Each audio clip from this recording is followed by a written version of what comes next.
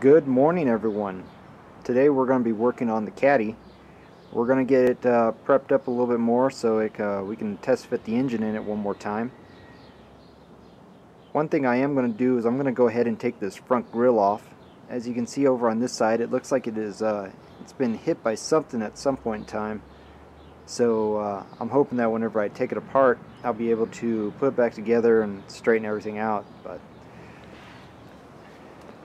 one thing that we've already done is that we went ahead and cut out our core support, our top bracket of our core support. We did that because uh, whenever we test fitted it, it was just a little bit too long.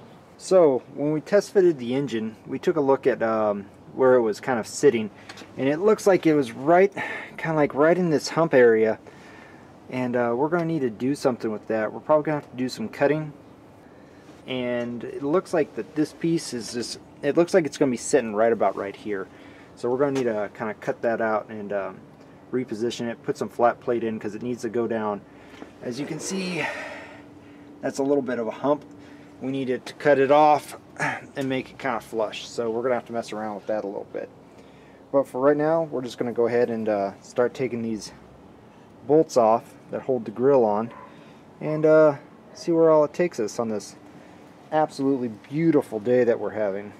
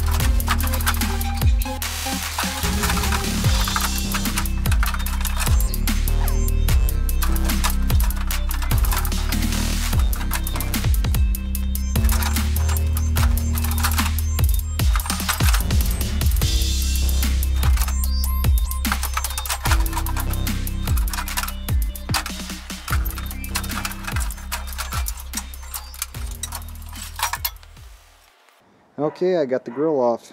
There's a lot more access now. I filmed this side of the car, which turned out to be the easiest part. I got my bolts back in so I don't go ahead and lose them. So we had these two, and then we had this guy right over here, and then there was a couple right down here that was holding the lower grill on.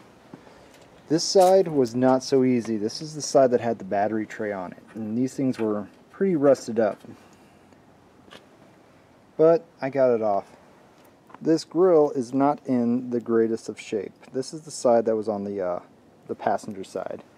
And I believe what it did was it it was welded on somewhere around here perhaps even right there to uh, bolt onto the grill onto the side of the car I mean and uh, man it just popped right off here's the other side that's what it's supposed to look like right there. So I'm not sure what all I'm going to do. I may try to TIG it. I'm not I haven't decided yet but this grill is in rough shape. I was wondering why this lower piece it comes off.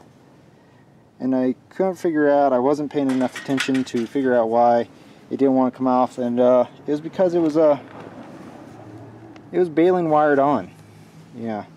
So here's one of them someone had baling it on to these uh, these supports right here so I think when I put it back on I'll take some time and I'll see if I can get uh, get it to where it looks a little bit better so for right now there it sits now that we have a whole bunch more room to get in and out of this thing. There's a few more things I want to take off. These old strut braces, these old uh, supports, I want to go ahead and take those off.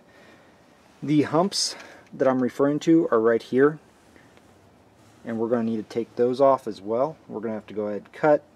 So before we go ahead and start cutting, getting all crazy, I'm going to move the, the old fuel lines because we're never going to be using those.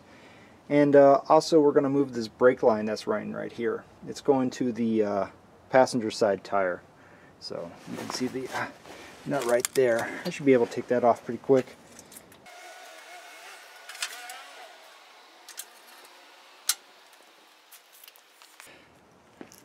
One automatic receding antenna out of the way.